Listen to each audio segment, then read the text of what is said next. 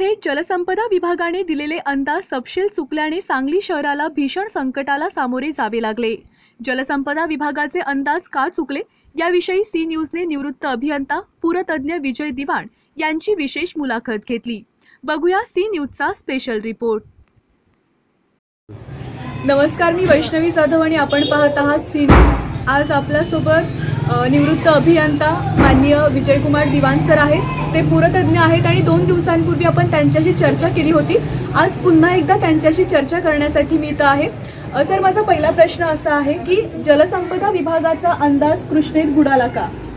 पहिल्यांदा मी आपल्याला धन्यवाद देतो की तुम्ही माझं पुन्हा एकदा बाईट घ्यायसाठी आलेला आहात. त्यासाठी मी सी न्यूजचं आणि आपल्या दोघांचंही पहिल्यांदा मी आपले आभार मानतो आणि तुम्ही आलेला आहात. आता प्रश्न जो विचारला तो अत्यंत चांगला आणि मार्मिक प्रश्न आहे हा की खरोखर ख का बुडाले? ह्याला कारण एकच आहे की जी नैसर्गिक आपत्ती येते ती काही सांगून किंवा काही करून येत नाही. अचानक नैसर्गिक आपत्ती आल्यामुळं हे खरं म्हणजे घडलेलं आहे. आणि ह्याला कारणं तीन आहेत.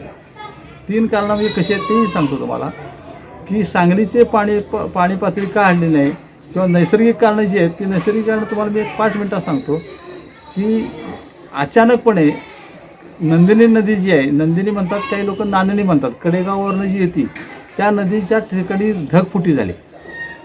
तशीच ढगफुटीचा पर प्रश्न आला तो आला एरळेवर. एरळेवर तासामध्ये जवळजवळ शंभर मिलीमीटरपेक्षा जास्त पाऊस पडला आणि नंदिनी नदीवरच तेवढा पाऊस पडला. या दोन्हीकडं पाऊस पडल्यामुळं अचानकपणे पाणी कृष्णा नदीत आलं. आपण जर बघतोय की क्रि- कृष्णापूर कराडला पाणी उतरलं ताकारीपर्यंत पाणी उतरलं बहेचं पण पाणी उतरलं. परंतु सांगलीमध्ये पाणी उतरलं नाही. सांगलीमध्ये उतरायला पाहिजे होतं परंतु ते उतरलं नाही. त्याचं कारण हे दोन्ही ठिकाणी ढगफुटी सदृश्य न- परिस्थिती निर्माण झाली. आणि त्याचं त्या दोन्ही नदीचं पाणी आपल्या तिथं ताकारीच्या आसपास आपल्या तिथं आलं. येरळाचं जे पाणी आहे ते ब्रह्मणाळजवळ येतं. आणि नंदिनी किंवा नांदिनी नदीचं जे पाणी आहे ते ताकारीच्या खालच्या बाजूला येतं. त्यामुळे ताकारीपर्यंतचे पाणी लवकर लवकर उतरलं. आणि ते मात्र पाणी उतरलं नाही त्यामुळं सांगलीला हा फटका चांगल्या प्रकारचा बसला आणि आपण त्यात सर्वजणच त्यात भरडलं गेलेलं. आहे